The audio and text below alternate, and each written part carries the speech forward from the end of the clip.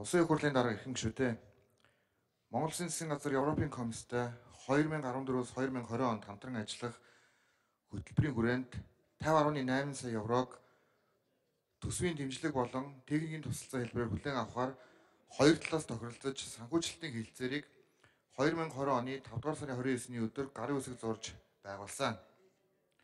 Төсвийн дэмжлэгийг төсөв санхүүгийн удирдлагыг сайжруулах болон хөдөлмөр эрхлэлтийг нэмэгдүүлэхэд чиглэсэн арга хэмжээнд зориулан буцалтгүй тусламж хэлбэрээр олгох юм а. Буцалчгүй тусламж олгохтой холбогдуулан Европын хөгжлийн сан болон Европын холбооны нэгдсэн төсөөс санхүүжүүлэх төслүүдэд үйлчлэх Монгол улсын татварын болон гайлын зохицуултын тухай ерөнхий хэлэлцээрийг Монгол улсын засгийн газар Европын холбоо хооронд 2020 оны 6 дугаар сарын 29-ний өдөр байгуулсан юм а.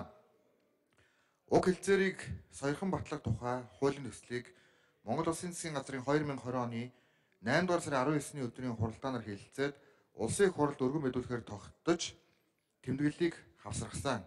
Энэхүү хэлэлцээр нь Европын холбоо тусламж олгож буй улсуудтай байгуулдаг жишг хэлэлцээр бөгөөд хэлэлцээрийн гол зорилго нь Европын холбооны нэгдсэн төсөөс бүхэлдээ эсвэл хэсэгчсэн санхүүжилтаар түншлэгч оронд хэрэгжиж байгаа аливаа төслийн үйл ажиллагаанд ноогдуулах гайлын татвар, нэмэгдсэн өртгийн албан татвар болон бусад төрлийн татвараас хураамжлах чөлөөлөх юм а.